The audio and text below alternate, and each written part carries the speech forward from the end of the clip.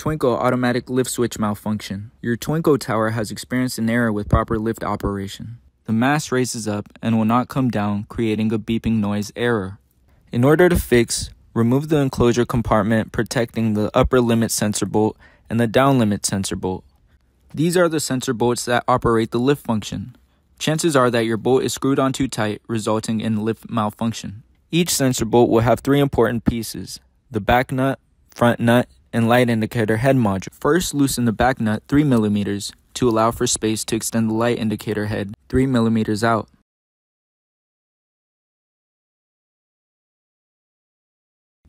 Tighten the front nut to the back nut.